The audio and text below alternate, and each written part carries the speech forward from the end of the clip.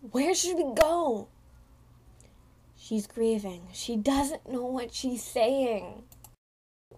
We can't leave everything our ancestors built for us to get destroyed. No, it won't be the same.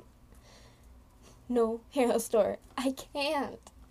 We don't know, and neither does Sploofer. She makes her choices based on what she thinks might happen. I don't agree on what she's doing. I would never endanger innocent kids. But I can see why she's doing it. StarClan is watching over you. This is part of a destiny only they understand.